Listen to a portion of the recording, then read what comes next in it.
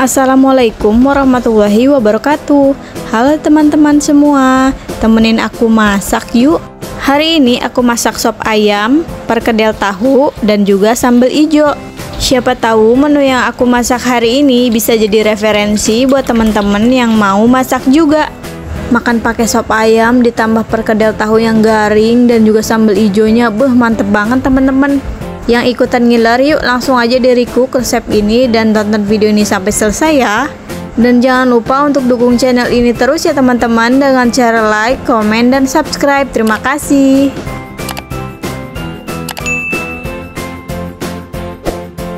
Untuk menu pertama aku mau masak sop ayam.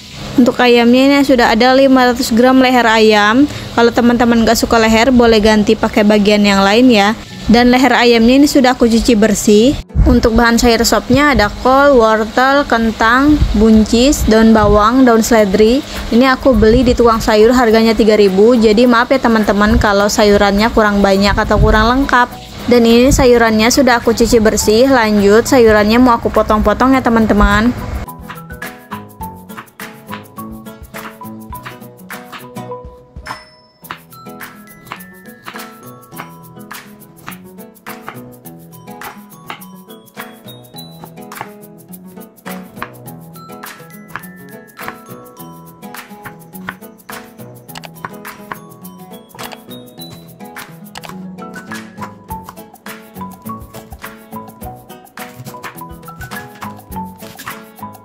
Untuk daun bawang dan daun seledrinya diiris-iris ya teman-teman.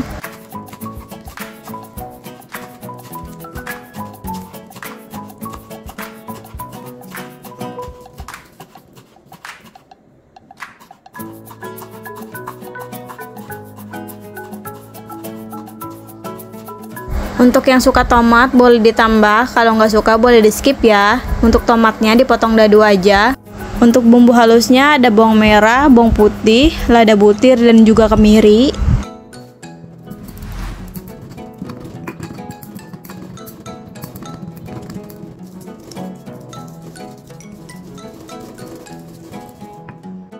Leher ayamnya mau aku rebus dulu sebentar biar hilang kotorannya atau darah-darahnya. Tambahkan juga garam rebus sampai keluar kotorannya atau ada buih-buihnya gitu. Nah kurang lebih seperti ini. Kalau udah tinggal dimatikan kompornya.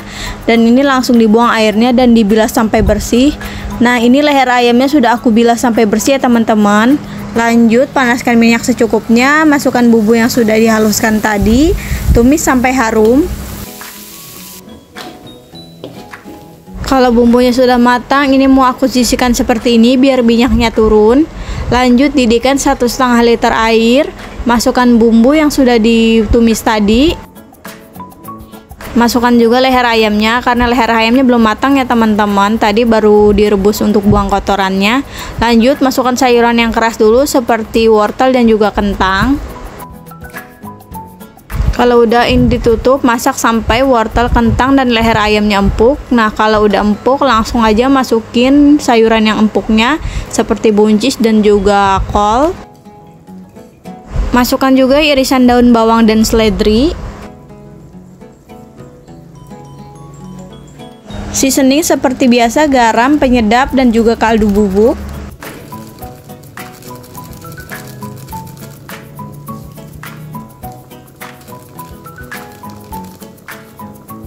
Kalau udah ini tinggal diaduk aja agar seasoningnya tercampur rata. Dan masak lagi sebentar sampai buncis dan wortelnya empuk. Kalau semuanya udah matang langsung aja matikan kompor. Terakhir masukin tomat. Taburin juga bawang goreng biar makin mantap dan ini sayur sopnya udah matang, siap disajikan.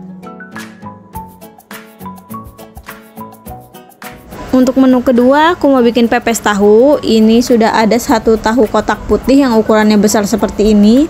Untuk bahan lainnya ada tepung beras dan juga ada bawang merah dan bawang putih yang akan dihaluskan. Kemudian ada satu butir telur dan juga satu batang daun bawang.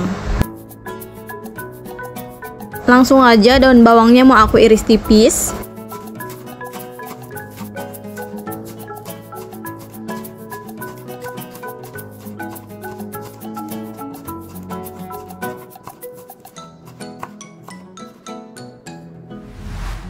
Lanjut hancurkan tahunya pakai garpu seperti ini ya teman-teman.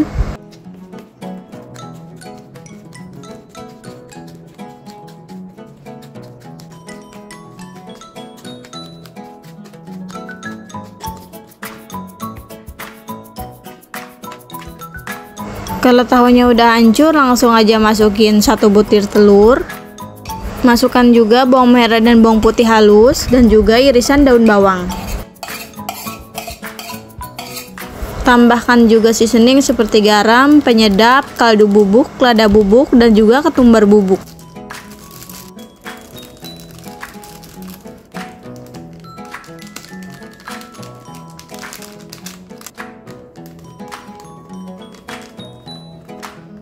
Kalau udah ini aku aduk dulu ya teman-teman sebelum tepung berasnya masuk biar tercampur rata gitu.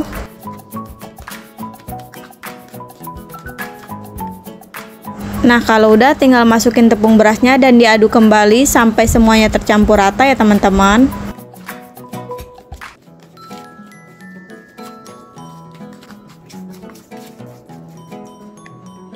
Kalau udah untuk dicetaknya ini aku pakai sendok dan tangan aja seperti ini ya teman-teman. Kalau udah langsung aja panaskan minyak, masukkan perkedel tahunya satu persatu. Kalau udah matang di satu sisi, jangan lupa dibalik biar matang merata.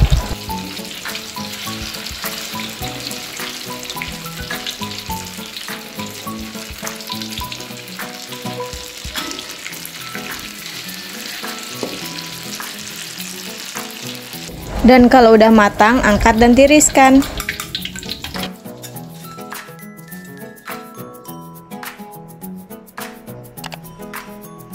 Untuk sambalnya aku mau bikin sambal hijau. Ini ada cabai keriting hijau, cabai rawit hijau, bawang merah, bawang putih, tomat merah dan juga terasi.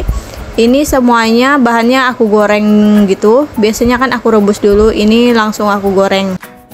Langsung aja panaskan minyak secukupnya, masukkan semua bahan sambalnya.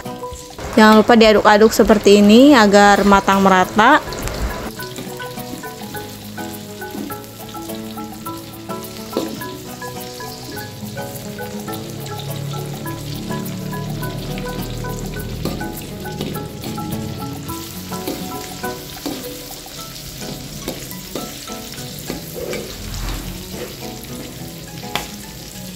Karena ini terasinya udah wangi banget teman-teman. Jadi ini aku angkat duluan karena udah matang juga.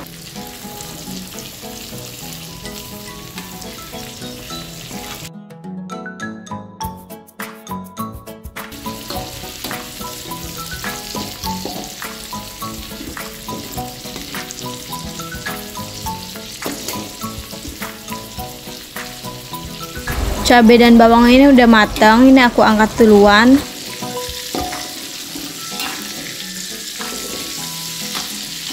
Terakhir untuk tomatnya juga karena sudah empuk langsung aja diangkat. Langsung aja bahan sambalnya tadi dipindahkan ke dalam ulekan dan jangan lupa diberi seasoning, garam, penyedap. Langsung aja ini diulek sampai halus.